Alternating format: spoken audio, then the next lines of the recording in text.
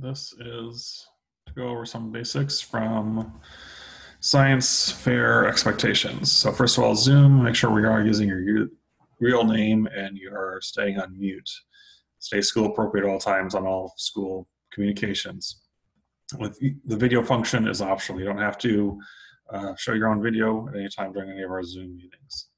Okay, so some things I want to go through here is um, we're going to be going through the things that were already posted throughout the assignment for environmental science.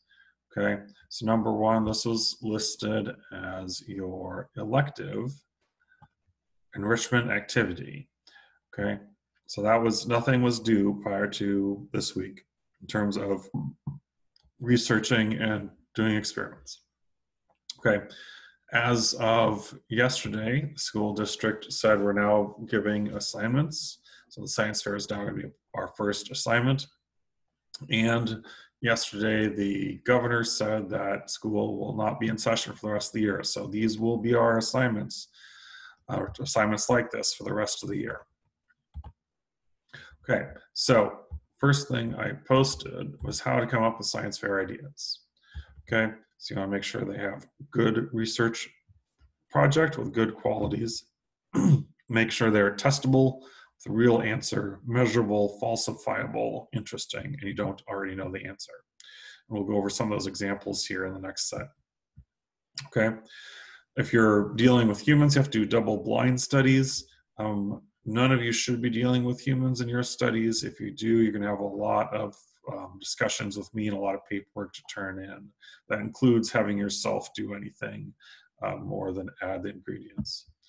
Okay, so the research question should be if I do this, then this will happen because, okay, gonna have a list of steps to go through all this. Okay, so the question has to be something that has not been covered in class or the previous year. It has to be something you do not know the answer to already. Okay, it has to be relevant with a clear argument on how it affects life. Um, we can talk about those once you have your topic. Okay, guiding guiding questions. What data will you collect? What would your hypothesis be? Does it build on something you already know? And what does your answer tell you? Okay, so there's a lot of ways we can find our topic. I'm not going to go through all those right now. Okay. Um, and then some environmental science topics we've seen filtering air, filtering water, storing energy, energy flow through a system. Um, um you could also have said material flow through a system, waste reductions, efficient systems. Uh, we also happen to do a lot of things about earthquakes. Um, you could do some of that as well. Okay, so your proposal, this was for next week, if you change X by this amount, and I am looking for numbers, and you change Y by some other number, or then Y should change by some other number, and because of, and this last part is what you should be working on right now. What are core properties that are guiding all these things? Okay, so that is our first set.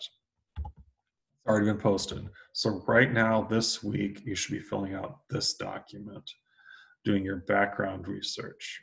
Okay, so you're gonna go to a source, a credible source. You're gonna write down as many facts as you can find relevant to your study. Then you're gonna tell me why it is credible, it is credible and how you can tell. Okay, um, it should be multiple sources multiple facts. You can decide how you're going to fill out this page. It probably will bump over to a, another page or hopefully more pages. Okay, so this is the core assignment for this week, due 410. Okay, all right. Once all that is done, you're and some of you are already there. Um, you should be looking at what are your expectations and what are you actually trying to do. You're trying to prove a cause and effect. Okay. All right. So it can be complex in nature and design. Okay, or it can be a small scale mechanism. All right. For this class, well, the smaller the scale, the easier it'll be to study. Okay.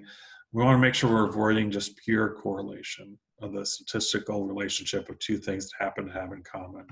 This is an interesting one um, because it is um, total revenue generated by arcades and computer science doctorates awarded in the United States. Okay, they seem to follow each other, but there's absolutely no causation. It is purely correlation. Okay, so common mistakes that people make. Okay, there's no measurements. If I use a filter, then less smoke will get through. How much less smoke? What kind of filter? Okay, I need numbers on there. Okay, obvious answer. If I do not water plants, then the plants will die. Yes, that's obvious. I don't think you really need to research that. Okay, um, not enough physical resources. If I add 10 grams of plutonium, then the water will heat up 100 degrees. If you can get your hands on 10 grams of plutonium, that's a nuclear weapon. The US government's going to want to hear about that. There's no way you can run this research. You don't have the resources. Okay, no causal link, going back to that correlation idea. The lights in my room are blue, the living room will heat up five degrees. What, what do those two things have to do with each other? You need to find some cause, some scientific property that brings two things together. Okay, and then getting the right number of variables. If you have if the amount of Coke, Mentos, soap, and shampoo all increase and are poured into a bottle, what I list? I listed four different variables. Okay, they're poured in the bottle, then the bathtub will be clean because bubbles clean things. Well, it's also a really weak causation there. Okay, um, did all those things affect it? Probably something. The soap might have cleaned the bathtub, or one of the ingredients in shampoo.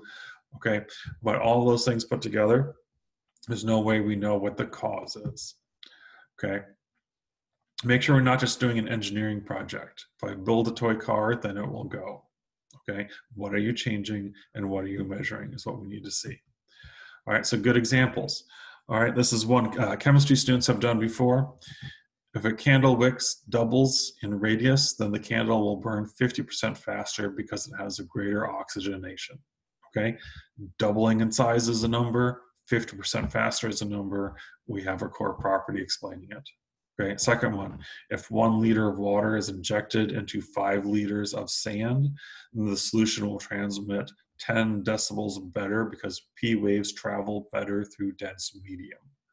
Okay, there's something you could do in environmental science surrounding earthquakes, P waves. Okay, we have um, a measurement of water, we have a measurement of sand. Okay, we're only changing the amount of water, we're not changing the amount of sand. Okay, and then we have a measurement prediction. 10 decibels is louder. Um, your phone can measure decibels, so that's something that you could probably get. You all you have access to water and sand. All right so now and we have a core property. So that's another good example for environmental science or physics. Okay so what are the properties of a good hypothesis? All right um, by the way my favorite kind of cookies if you brown if brown butter is added to cookie dough then the cookies will be three shades darker on the von Luschan's chromatic scale because of the Maillard reaction. Okay, so notice in that first part of the sentence, it's a passive voice, something English teachers aren't very fond of, but it's used very frequently in science. You do not use I or we or you. It's the, the butter and the cookie dough that are the major actors in this sentence. Okay, we also in that first part, only one thing has changed. We changed how it is the butter is introduced. Do we use regular butter or do we brown the butter first? Okay. Um, then there's a clear, measurable prediction.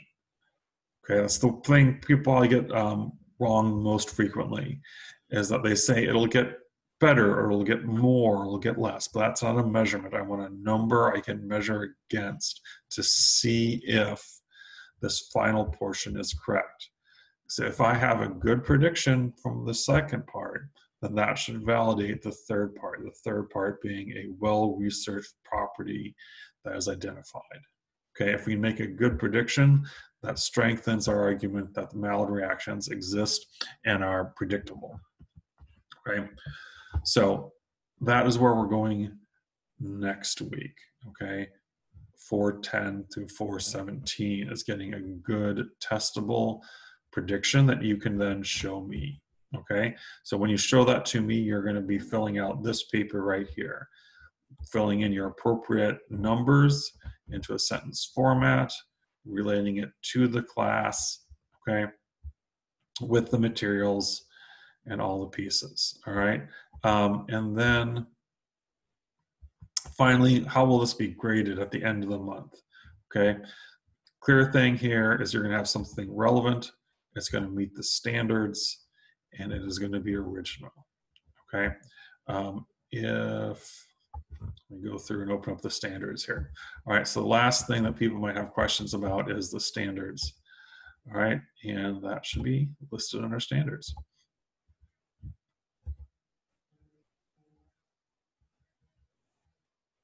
All right, so our standards here, we see a list of core content standards. These core content standards go through what we've discussed in class, okay? Ocean crusts, continental crusts, okay? Remember we're talking about the, um, the sea crust separating and bringing out like uh, magnetic stripes, okay? Um, Earth's materials and planetary surfaces to construct for early Earth formation. Um, that would be an interesting thing to model if that's if you're interested in geology and volcanoes. Okay. Um, remember, you have to change something and you have to measure something in all of these. Okay. You're going to develop a model of how to illustrate Earth's internal and surface processes. Okay. So remember, you only have to pick one of these from the core content standards okay?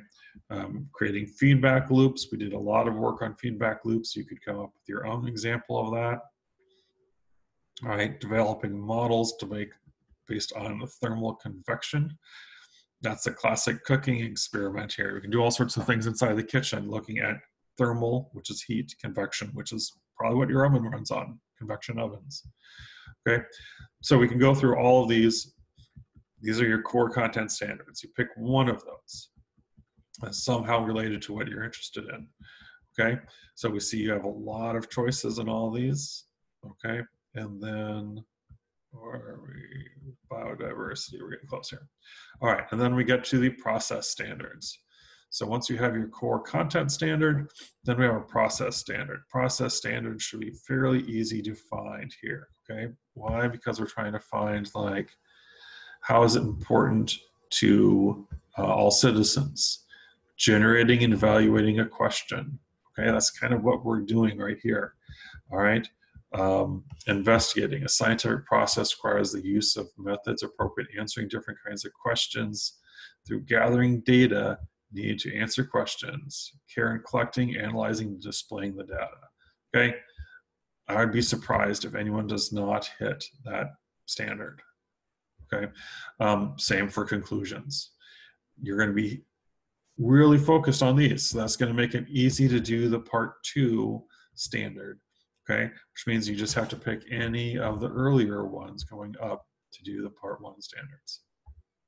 Okay, all right. So what's the moral of the story here?